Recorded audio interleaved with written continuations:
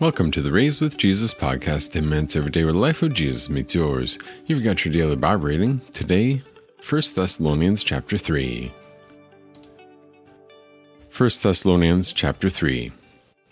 So when we could not stand it any longer, we thought it best to remain behind in Athens alone, and we sent Timothy, our brother and co worker for God and the gospel of Christ. We sent him to strengthen and encourage you in your faith, so that no one will be shaken by these trials, for you know well that we are destined for this. In fact, even when we were with you, we told you ahead of time that we were going to suffer, and it happened just that way, as you know.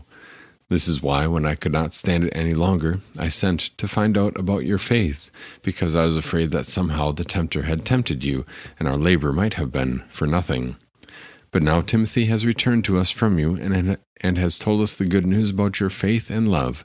He also told us that you always have fond memories of us and long to see us, just as much as we also long to see you. Because of this, brothers, in all our distress and affliction, we have been encouraged about you through your faith. For now we really live, if you are standing firm in the Lord. Indeed, how can we thank God enough for you in return for all the joy we have before God on account of you? Night and day we are praying earnestly to see you in person and to supply what is lacking in your faith. May God our Father Himself and our Lord Jesus direct our way to you. And may the Lord increase your love and make it overflow for each other and for all people, just as ours does for you, so that He may establish your hearts as blameless in holiness before our God and Father when our Lord Jesus comes with all His saints. This is the word of our God. The line of thought here in 1 Thessalonians, thus far in chapters 1 and 2, uh, chapter 1, Paul had expressed such joy, such thankfulness. We thank God for you, you imitators of Christ and model Christians. And then, chapter 2, Paul very gently but authoritatively reminds them when he says basically, You remember how when I was with you, I loved you, I served you as a father, as, as a mother with her children. You remember that, don't you? And and what he was kind of doing there in chapter two was also dispelling the notion that he was just some teacher for hire, just some traveling guru, um, like appeared to be common in the Greek society, somebody going from place to place, um, peddling their teaching for profit. And that accusation might have been there and was possibly there because Paul had Paul had been teaching. And then when there was some opposition, he got out of town. And that's what Paul had kind of reminded them of in chapters 1 and 2. He was reminding them of how he had acted among them, how he had acted with integrity. There was no sense of any greed or flattery. He had even worked hard so as to support himself and not be a burden to them.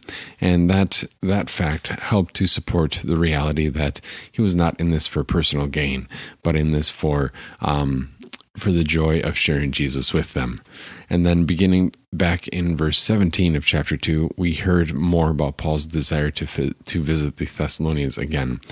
Then we get into chapter 3, and realistically, chapter 3 really could have, or maybe should have, started just a verse or two earlier, um, verse 17 of chapter 2 um, at least at least as far as the thought goes and that's a more logical break in the outline um, beginning in chapter 2 verse 17 as for us brothers after we were separated from you like orphans for just a short time in person not with heart it was with great desire that we made every effort to see you again in person for we wanted to come to you um, but Satan hindered us. Indeed, who is our hope or joy or crown about which we boast before our Lord Jesus when he returns? Is it not you? Yes, you are our glory and joy. And that provides, um, I guess, enough of an intro for what we're talking about here in, in 1 Thessalonians chapter 3. Paul kind of moves fairly quickly through the first few verses um, because he's just repeating what he what they already know that Paul has sent Timothy back to them. But there's a reminder even there in that first paragraph, um, such as verse verse three and four um, verse 2, 3, and 4, I guess, we sent Timothy to strengthen and encourage you in your faith, so that no one will be shaken by these trials, for you know well that we are destined for this. In fact, even when we were with you, we told you ahead of time that we were going to suffer, and it happened just that way, as you know. And there's the kind of the reminder there for Christians that that the Christian life isn't this side of heaven always going to be roses and daisies. And that in reality, God may even allow and in his goodness may even send things that we perceive to be bad. But there's a difference between something that is morally evil and something that we perceive to be bad or unpleasant. And in this case, there was moral evil, yes, perpetrated against the Thessalonians because because the preaching of the gospel was hindered in their midst, and that is always a bad thing. That is always a sinful thing. But God would use it so that it wouldn't be a a bad thing for them. God would use it for their eternal good, just as Paul writes in you know Romans chapter eight verse twenty eight. Um, and a lot of that Romans at chapter eight passage was part of our part of our second reading this past Sunday. As we think about this reality that God says that we are destined for suffering. God says that He will use that suffering for our good, and that we should not try to discern the goodness or badness of an event based on our perception of it, but rather we should discern the goodness or badness of an event based on the outcome and leave that outcome in His hands. And so, looking at the three paragraphs of chapter three, you might notice that basically paragraph one, if you're following along in a, uh, in a paper Bible or on your phone or something like that, chapter one is basically an audible sigh of relief as Paul is like, finally, we have good news from you. This is fantastic. And then the second paragraph Paul expresses his own desire to go see the Thessalonians, but note that the that thread of relationship and mutual encouragement is woven throughout this entire chapter. Paul talks about, you know, verse 6. He says that the Thessalonians always have fond memories of us and long to see us just as much as we also long to see you.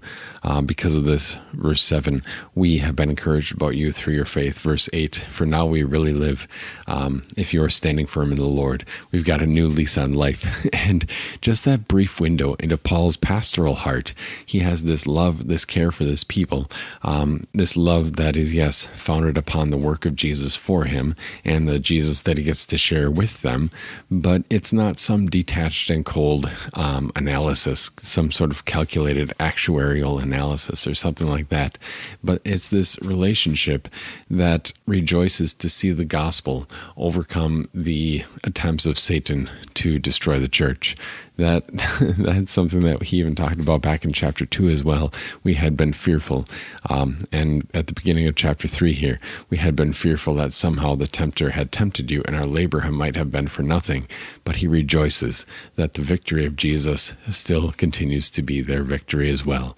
That Jesus has exercised his victory in their life, and and they can see in their own lives that Satan has been pushed back, that Satan doesn't have the final word, that they are standing firm. And that is an encouragement for Paul. Paul rejoices, not just that, and it's not in some sort of, you know, making a name for himself kind of a way. But Paul rejoices with this, um, I guess the word is maybe authentic or wholehearted joy, because the gospel has had fruit.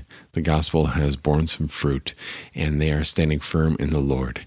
And Satan has been pushed back, and he and his his work and his sacrifice was not in vain. And even though even though he can't be in Thessalonica right now, at the same time he is rejoicing because they are standing firm. How can we thank God enough for you in return for all the joy we have before God on account of you? I don't know if it's very often that your pastor talks that way in a sermon.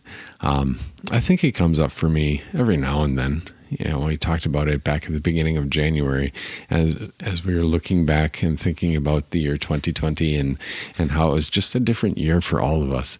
But what really came to mind to me, and you could probably see this in your own congregation and in your own life, is the joy that Jesus has accomplished his work again, and that that God's people here at this place or here and there at your congregation.